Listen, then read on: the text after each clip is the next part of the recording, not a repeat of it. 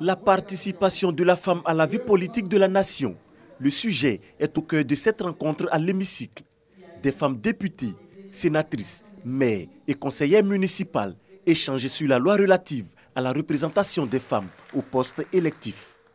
Pour que les partis politiques soient motivés à plus choisir les femmes dans les, dans les de prise de décision, il y a quand même quelque chose qu'on a mis dans, dans, le texte qui dit que le parti politique qui va choisir les femmes, 30% des femmes comme le choix de leur parti, vont avoir une subvention de l'État. Donc cela peut pousser, bousculer les choses pour que les femmes puissent être choisies.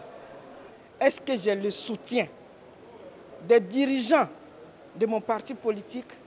Est-ce que, est-ce que, il faudrait plus que les femmes se posent toutes ces questions?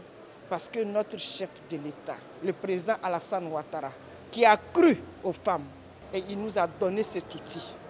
29 femmes députées sur 251, 19 sénatrices sur 99, 16 femmes élues maires sur les 201 communes et une seule femme présidente de conseil régional sur 31.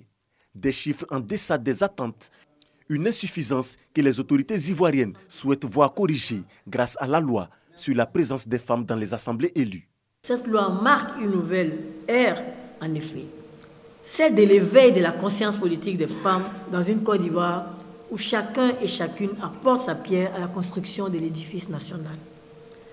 Honorables députés, vénérables sénatrices, mesdames les maires, en votre qualité de représentants du peuple dans vos différentes instances, votre engagement à amener le maximum de femmes à se porter candidates, à les encadrer, est essentiel pour l'atteinte du quota minimum de 30% de femmes candidates et à améliorer leur participation dans les assemblées élues.